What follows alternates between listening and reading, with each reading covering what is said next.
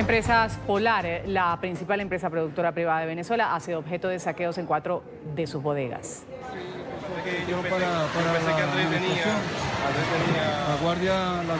Los hechos se registraron en Maracaibo, estado Zulia. Imágenes difundidas por redes sociales dan cuenta de cómo decenas de personas asaltan un galpón ante la mirada de varios efectivos de la Guardia Nacional.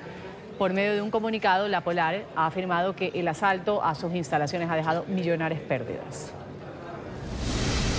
En las cuatro instalaciones, las pérdidas calculadas hasta el momento ascienden a más de 18.600 millones de bolívares. Se suma también el riesgo de inseguridad al entrar a nuestras agencias y plantas en tales condiciones, debido a la existencia de productos inflamables. Hasta el momento no se ha reportado ningún daño físico a nuestros trabajadores, quienes han demostrado su interés y compromiso ante esta lamentable circunstancia. La situación actual que enfrentamos en el país no justifica este tipo de acciones que terminan perjudicando grave y directamente a las poblaciones a nuestras instalaciones. La disposición de los productos que aquí elaboramos va destinada para servir a esas poblaciones en primer lugar, al tiempo que también se afectan muchas fuentes de trabajo para la región.